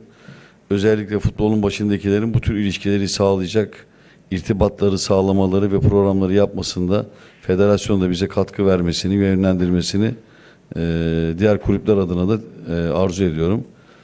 Başarılı olanın görülmesi ve takip edilmesi ve araştırılması fayda sağlar, zararı olmaz. Çok egosu yüksek insanlar başarılı olamazlar. Bir başkasının sizden daha fazla başarılı olduğunu, olabileceğini kabul etmek başarıyı daha çabuk getirir. yapılan var ortada. Onları görüp hareket etmek yerine yeniden bir şeyleri keşfetmek gerekmedikçe e, faydalanmakta fayda var. Sağ olun. Buyurun. İsim ve kurum da alalım. Hasan Hüseyin Alimoğlu, Radyo Gol. Sayın Başkan bir projeden bahsettiniz. Emirhan'ın da işte Serdar'ın da içerisinde olduğu. Peki bu projenin nihai hedefinde Emirhan'ın, Serdar'ın 10 yıllarca Beşiktaş'ta oynaması mı var? Yoksa bu oyuncuları Avrupa'ya göndererek Beşiktaş'ın ekonomisini kurtarmak mı var? Teşekkür ediyorum. Valla iş adamlığı neyin ne getirdiğine ne götürdüğüne bakarak yapılır. Dolayısıyla oynaması faydalıysa gelen teklife bakarsınız, oynadığı futbola bakarsınız, verdiği katkıya bakarsınız. Eğer o katkıyı yerine koyacak birilerini buluyorsanız satarsınız. Ki doğru mekanizma birileri gitmeli, altyapıdan gelen diğer arkadaşlar top oynama şansı bulmalı. Aslında projenin özüne baktığınızda altyapıdan gelen birisini 10 sene oynatmak projenin aslında özüne aykırı. Çünkü arkadan geleni yarışamazsınız. Arkadan gelenleri istiyoruz. Dolayısıyla öndekilerin yollarını açık edeceğiz. Hem ülkemiz hem Beşiktaş'ımızı iyi temsil edecekler. Tercihimiz bu. Teşekkür ederim. Övünç Bey. Sayın Başkan merhaba, buradayım. NTV Övünç Özlem. Ee, Sayın Başkan şimdi Önder Hoca sezon başında U19 teknik direktör olarak göreve başlamıştı. Şartlar, hayat ve durum şu andaki dönem A takım teknik direktör olarak devam etme durumunu ortaya çıkardı. Siz Önder Hoca ile yeni bir sözleşme yaptınız mı? Bir sözleşme güncellemesi söz konusu mu? Eğer varsa bu sözleşme ne kadar e, bir süreye e, tekabül ediyor? E, Bir de Fenerbahçe bu konuyla ilgili dün açıklama yaptığında gelecek sezon için şimdiden bir planlama yaptığını söylemişler, söylediler, ifade ettiler. Beşiktaş'ın böyle bir planlaması var mı yoksa sezon sonu tekrar duruma bakılacak? Hocam burada oturuyor. Beşiktaş'ın teknik direktörü. Allah sağlık, sıhhat, huzur, başarı verdiği müddetçe yerinde olmaya devam edecektir. Bizim görevimiz ona destek olmaktır. Öyle bir planlamamız önümüzdeki sene için yok. Planımız burada. Oturuyor ikisi de yanımızda. Ee, sözleşme her zaman söylüyorum. Beşiktaş'ın çocuklarının sözleşmesi Beşiktaş'ta istedikleri kadar olur. Bizim Beşiktaşlar onurlu ve gururlular bir şey yapmıyorlarsa yapamıyorlarsa giderler. Yapanlar da burada otururlar, bu işi icra ederler. Dolayısıyla hocamızın bunu yapacağına ve burada uzun yıllar kalacağına ve bu projenin bahsettiğimiz altyapıdan faydalanma, öz kaynak değerlendirilmesi projesi uzun yıllarki bir projedir. Dolayısıyla hocamız da bu projenin en önemli parçası olmaya devam edecektir. Sözleşme var tabii ki. Buyurun. Ee, Bir de teknik ekibe bir dahil söz konusu olur mu? Bu dönemde bir hafta, 10 gün, 21 gün içinde e, yeni bir e, antrenör dahil söz konusu mu? Sayın Sportif Direktörümüz cevap verir misiniz? Evet, böyle bir planımız var. Önder Hoca ile beraber kararlaştırdığımız bir plan. Bir kişilik bir e, atletik performans tarafına bir kişilik bir ek olacak. E, Bir iki gün içerisinde onun da açıklamasını yapacağız zaten. Bitti mi Övünç Bey? Teşekkürler. Ali Bey buyurun. Ali Aydın Sözcü Gazetesi. Buyur. Sorumu sormadan önce bir durum tespiti yaptım Sayın Başkan onu söyleyeyim de. Önder Hoca'nın e, Ceyhun Bey'den biraz daha avantajlı olduğunu düşünüyorum. Nedenine gelince Ceyhun Bey bu arada hayırlı olsun. Allah da kolaylıklar versin. Önder Hocam beyaz saçlarıyla bu işe başladı. Ceyhun Bey'in de saçları şu anda siyah. Ne zaman beyazlayacak diye. Hızlı şekilde yakalarım diye tahmin ediyorum bunu. Ama bende ikisi de var. Hem siyah hem beyaz. Ben bir ikisini de tek kafamda taşıyorum yani. Ya beni niye böyle taça atıyorsunuz ya? Sizi taş atmadım başkan. Ya- yani ben iyi bir Beşiktaşlıyım yani. Ona hiç şüphe yok. Yani e, ne olur şüphe etmesinler. Etmeye çalışanlar falan filan var. Yani her yerde söylüyorum. Ben Trabzon'da doğdum. Trabzon olmaktan onur ve gurur duyuyorum. Hiçbir zaman Trabzonspor'un üyesi olmadım. Adayı olmadım. Hiçbir şey olmadım. Bütün ömrümü Beşiktaş'ın maçlarına, yönetimine ve başkanlığına adadım. Adamaya da devam edeceğim. Fuzuli konuşanlar konuşmaya devam etsinler. Sayın Evet. Başkan biraz önce açıklamasını yaptınız ama şimdi kamuoyunda devamlı hep bir isimler ön plana geliyor. Geçen günde e, mesleki büyüğümüz, duayenimiz Sayın Şansal Büyükağa'nın bir yazısı vardı. E, sezon sonu Beşiktaş Şenol Güneş'le anlaşmış diye. E, bu tür e, yazılar çok okuyoruz, ediyoruz. Sizin bu konuyla alakalı görüşünüz nedir? Teşekkür ederim. Şimdi beyler ben medyayı anlıyorum. İşiniz çok zor. Günlük 3 dakikayı doldurmayacak olaylar yaşanırken siz 333 dakikayı nasıl dolduracaksınız siz de zorlanıyorsunuz farkındayım. Şansal Büyükağa medyanın duayenlerinden biridir. Görüşüdür, yazmıştır. Ama bu saate kadar bizim Planlamamız içerisinde böyle bir şey söz konusu olmamıştır. Şenol Hoca bu kulübe iki kupa kazandırmıştır. Değerli bir hocadır. Avrupa maçlarında başarı sağlamıştır. Bizim için değerlidir. Benim için de değerlidir. Ancak o gün yaptıkları için kendisine minnettarım ve saygıyla anmaya devam edeceğiz. Ama bugün benim hocam Önder Karaveli teknik direktörüm. Onunla beraber yola devam ediyorum. Etmeye de devam edeceğim. Bunu buradan nasıl kabul ediyorsanız edin. Zamanı geldiği zaman tekrar sorarsınız isterseniz bu soruyu. Ben hocamla Hocam gitmeye niyetin mi var? Niye bu soruları soruyorlar bana? Sen mi sorduruyorsun? Ha? Ya yok yok kardeşim biz biz buradayız devam edeceğiz. Biz bir düzen kurduk. Ee, büyük bir plan var, büyük bir proje var. Beşiktaş'ı kurtaracak proje. Bu projenin parçası olmaya hep beraber devam edeceğiz. Yöneticilerim de dahil olmak üzere. Şenol Hocama da geçmişteki başarıları için hem teşekkür ederim hem tebrik ediyorum. Çok da değerli bir spor adamı olduğunu da kabul ediyorum. Ama Önder Karabey ile yola devam etme kararı aldık ve imzamızı attık. Kararlılığımızı da gösterdik ve devam edeceğiz. Teşekkür ederim. Son soruyu alıyoruz. Öyle gördüm. Bakıyorum salona. Gürler Bey'den alacağım. Başka bir soru var mı ondan sonra? Yok. Efendim? Bir Gürler Bey sorsun. Buyurun Gürler Bey. Gürler sen de benim gibi ufak tefeksin. Şöyle bir çık yukarıya doğru. Nerede dedim merak ettim seni göremiyorum deminden. Buyur canım. Buradayım başkanım. Ee, Sayın Kazancı hayırlı olsun. Sayın Hocam hayırlı olsun yeni dönem. Sayın Başkanım şunu sormak istiyorum size. Şimdi az önce e, bir arkadaşımız sordu transfer konusuyla alakalı bir sorusu vardı ki öz kaynaktan transfer dediniz önceliğimiz. Yalnız Beşiktaş'ta kadro dışı olan oyuncular var. Laiç, Lens ve bunların da tabii ki kulübe maliyetleri var. Ee, ne olacak durumları? Özellikle yakın süreçte bir gelişme olur mu onlarla alakalı? Ve e, bir Ekim'de şu Beşiktaş altyapısı bir futbolcu fabrikası. Ben de yıllardır takip ediyorum onları. E, altyapıda özellikle yarışmacı grubun yani üst yapıya oyuncu kazandıran grubun Nevzat Demir'in e, bulunduğu noktadaki yere taşınması ihtimali nedir? Ki bu konuyla da alakalı çalışmalarınız olduğunu biliyorum. Açıklar mısınız? Rica ederim. Tamam. Şimdi sondan e, cevap vereyim. E, altyapının U19 tabii ki en yakın e, takım. E, onların kişilik olarak, tarz ve tavır olarak e, A futbol takımıyla iç içe yaşamaları, oradaki abilerini görerek onların e, başarılarından, tavırlarından beslenmeleri çok doğru bir yol. E, dolayısıyla da orada az evvel de Fırat Bey'e de söyledim. E, Emre Bey de e, geçen bir konuşmaya gitti ilgili kişilerle. Sanıyorum Emre bir yol alacağız değil mi orada bir yol bulduk. E, altyapıyı e, Emre müsaadeye alacak. Fırat da projeyi bitirdi. Biri de parayı bulur herhalde. O işi bitireceğiz en kısa zamanda. Ee, diğer konuya gelince yanında koşanlar ya işe yaramıyor diye yani para verdik diye yaramayan kişilerden faydalanamayız. Bunların kararını verecek teknik kadrodur. Maalesef yanında koşan kardeşlerimizden biz hiçbir katkı alamadık. Alamadık. Almaya çalıştık mı? Evet. Douglas'tan almaya çalıştık. Yunanistan'daki maça gel, gelmedi, sahaya çıkmadı. Şimdi biz bundan ne istiyorlar bizden anlamıyoruz. Lens'e aynı şeyler verildi zaman içerisinde bir şey alamıyoruz. Bırakmış. Siz çok yüksek bir parayla en son dönemlerine gelmiş bir adama anormal para verirseniz onlar gitmezler. Dolayısıyla da gitmediler. Kaldılar. Leiçi'yi ne kadar zorladık. Herkes biliyor. Kötü niyetli olsak yapmayız. Niye kötü niyetli olayım ki? Ama olmadı. Leiç'ten beklediğimizi alamadık. Dolayısıyla zaten bu sene sonu itibariyle kontratları bitiyor. Geldiğim anda beni en çok korkutan şey önümde çok yüksek ücretlerle maalesef başarıyı henüz elde edememiş ve başarıları devam etmeyen futbolcularla baş başa kalmanın iki yıl evvel bende yarattığı sıkıntıyı size anlatamam arkadaşlar. Ve maalesef dört ay sonra bu arkadaşlardan muhtemelen kurtarmış olacağız. Ama bakarsınız dört gün sonra müjdeli bir haber gelir bir yere giderler ama hiç sanmıyorum.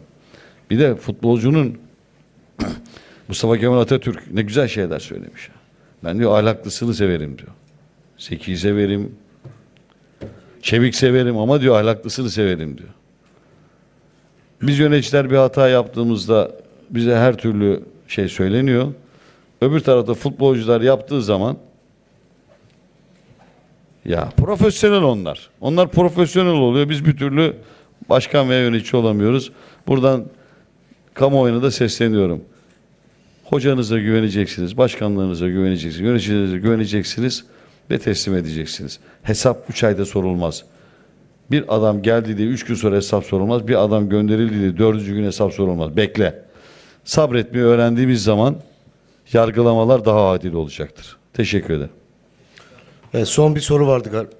Şuraya verdim İsmail abi önce. Evet önce. Ee, Sayın Başkan son dönemde haberlerimize konu olan güncel bir durum daha var. Sözleşmesi bitecek. Vida, Larin, Oğuzhan konusunda görüşmeler devam ediyor sanırım ama nedir tutumunuz? Bu oyuncularla ilgili özellikle Larin ve Vida konusunda yeni bir gelişme var mı e, haber olarak aktarabileceğimiz? Kimle ilgili? Vida ve Larin konusunda sözleşmeleri biten sezon sonu. Vida ve Larin. Evet. Anladım. Şu anda oynuyorlar. Sözleşmeleri bittiği zaman eğer bu kulüpte kalmak istiyorlarsa bizim verdiğimiz parayı da kabul ederseler e, yerleri devam eder. Yani ama ben bugünden benim şartlarımı kabul etmeyen futbolcunun kulüpte kalacağını söyleyemem. Bizim artık ekonomimiz ortada. Bu paraya oynayacaksalar oynarlar. O da biz ihtiyacımız varsa beğeniyorsak. Dolayısıyla Larin geçen sene çok katkı verdi. Bu sene de olduk şeyi. Vida abilik yaptı. İyi bir stoper olarak görev yaptı ama daha devam etmesi lazım. Sezon bitmedi. Alınan para bir yıllık aldığımız karşılık 6 aylık olmaz. Parayı kaç güne alıyorsan o güne kadar top oynayacaksın. Ondan sonra da başarılıysan çıkıp gelip talepte bulunacaksın. Bizim işimize geliyorsa vereceğiz, gelmiyorsa vermeyeceğiz. Kimsenin birbirinden fazla bir şey beklemeye hakkı yok. Evet. Başkanım teknik ekipte bir devrim yaptınız. Başarılı e, inşallah bundan sonra daha başarılı olur. Ee, şunu söylemek istiyorum. Geçmişte yaptık duyamıyorum. teknik ekipte Ha, anladım. gençlik devrimi yaptınız. Ee, sportif direktör olarak e, Ceyhun Bey geldi. Ee, genel e, Ayşe'de genel e, başkan olarak da yine Ceyhun Bey mi gözükecek ve futbol şube sorumluluğu da kaldırıldı mı? Yani Emre Koca da tekrar devam ediyor mu? Bütün işlere genel kaptan olarak Ceyhun Kazancı mı bakacak? Hayır, futbol şubede ilgili arkadaşımız Emre Koca da e, görevi iade etmedin değil mi henüz? Ben de almadım. Dolayısıyla devam ediyor. E, hayırlı olsun. Başarılı olmuştur. Geçen sene şampiyon olduk. Oradaydı. Emeği var. Dolayısıyla başarılı olan, doğruyu yapan, iyi niyetli olan herkes bizim e, başımız üstte yeri var. E, dolayısıyla böyle bir problem yok. Ceyhun Bey de maşallah oldukça fazla yetki aldı. Umarım altından kalkar. Yani e, her zaman söylerler ya yönetici futboldan ne anlar? Profesyonelleştirin yaptık. İnşallah umarım onu da eleştirmezler. Ve de futbolun içinden gelen sabahlara kadar maç seyreden bir futbolcuyu sorduğumda onun tarihçesini e, sakatlığına kadar bana anlatabilen bir sportif direktörle çalışıyor olmaktan mutluyum. E bir de hocayla da birbirlerini de çok seviyorlar. Allah yollarını, bahtlarını açık etsin. Yani bize başarı böyle gelir. Aile olabilmek için önce birbirimizi sevip sayacağız. Böyle ikiliyi yakalayabildiğim için de Emre'nin de başlarında olduğu, gidip geldiği ve altyapıda Fırat kardeşimizin mücadele ettiği e, futbolla ilgili kısımda bunları söyleyebilirim. E, bir sorun yok. Ve yöneticilerimle ilgili de e, bugüne kadar bana verdikleri destekler için teşekkür ediyorum. Çoğunun başarılı olduğunu, ellerinden geleni yaptığına inanıyorum. E, onlarla ilgili eleştirileri de ben doğru bulmuyorum. En son Mali Genel Kurul'da Mesut Urgancılar Genel Sekreterimizin vermiş olduğu mücadeleyi bir Beşiktaşlı olarak kim görürse görsün ister tarzını beğensin beğenmesin önlülük deyip teşekkür etmesi gerektiğini açık açık buradan söylemek zorundayım arkadaşlar. Evet. Son soru Ali Fuat Bey bitiriyoruz artık. Ali Fuat Duatepe. Sayın Başkan e, sözlerinize başlarken KPMG raporuna dikkat çekerek takipçisi olarak e, devam edeceğinizi söyleyerek başlamıştınız. E, şimdi kongrede de açıkça raporun okunmasından sonra görüldü ki denetleme kurulu yetersiz kalıyor bu incelemelerde. KPMG olur başka bir firma olur. Bu süreçleri özel firma aracılığıyla devam ettirmeyi düşünüyor musunuz? Yani bu gelenekselleşecek mi? Mi artık Beşiktaş'ta? Yani örneğin 2019, 2020, 2021 ve devam ettiğiniz takdirde daha sonraki yıllarda da dışarıdan bir denetim firmasıyla aynı şekilde çalışmaya devam edecek misiniz? Şimdi ta başında da söyledim. Bu bir milattır. Özel denetleme bir milattır. Kulüplerin, derneklerin denetleme kurulları yapı itibariyle bu şekilde inceleme yapmaya yeterli değildirler. Ne zaman olarak ne bu işin kültürüne hakimdirler. Onların yaptığı görev hesapları, kitaplara bakmak ve bunları çıkarıp bir şekilde genel kurullarda kamuoyuna ve genel kurul arz etmektir. Ancak özel amaçlı denetleme dediğimiz bu bizim başlattığımız uygulama başka bir uygulamadır ve hedefine ulaşmıştır. Bundan sonra da ben gittikten sonra da benim arkamdan gelenin özel denetleme yaptırmasını ben buradan talep ediyorum. Özel denetleme yaptım diye bana sürekli sıkıntı yaratan eski yöneticiler gibi olmayacağıma söz veriyorum. Beni denetleyenlere buradan ileride denetleyecek olanlara bugünden sempati besleyeceğime taahhüt ve söz veriyorum. Dolayısıyla Beşiktaş'ta artık bundan sonra özel denetlemenin bir rutin haline gelmesini, bir örf, adet ve tahammül olarak kalmasını çok arzu ediyorum. Şimdi birileri diyor ki sen diyor yaktın diyor onları diyor. Bundan sonra da diyor seni diyor gelenler yakacak diyor. Abi biz yanalım Beşiktaş yanmasın. Tamam. Teşekkür ederim. Var mı başka soru? Basın toplantımız bitti Sağ ol. başkanım. Hocamız ve sayın genel müdürümüzle hemen hiç kimse yerinden kalkmadan bir fotoğraf çekimi rica eder. Foto muhabir arkadaşlar. Ayakta bir fotoğraf rica edelim.